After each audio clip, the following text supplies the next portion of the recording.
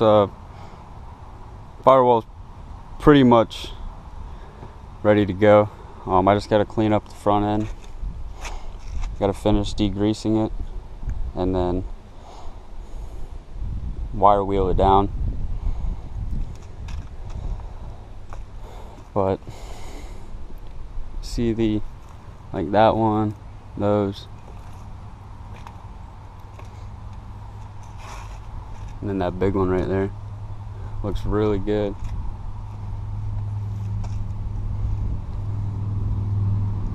And no more rust in it. So I'm going to clean the clean it off and then wire wheel it and then finish prepping the firewall.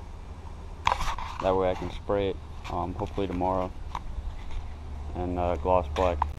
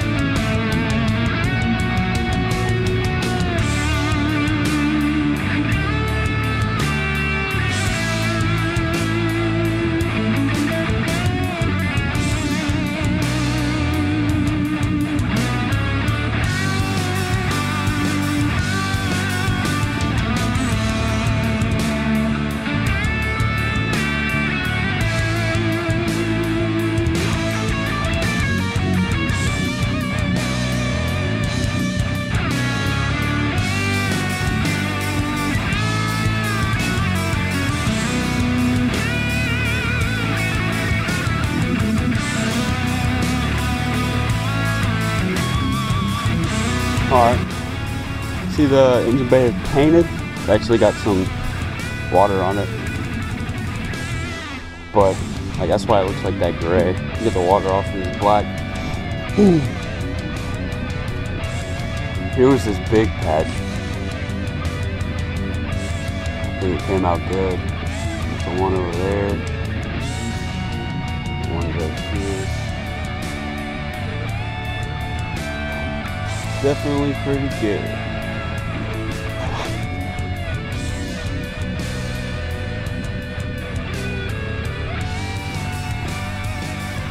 So this had about uh, two days to dry. Um, I'm gonna try to get this motor in here. Basically, just get it set set in there and like the transmission. Um, I gotta bolt the new motor mounts to the frame. You can see where I outline them. Um, make sure they go back in the right spot. Just save on uh, ease of installation and you got to cut these wires back apart. I had them zip tied so I can get behind it and everything. But we'll cut those back apart and try to get the motor and trans slid back in here. And then that'll be good. I'm gonna try to do it in like two hours.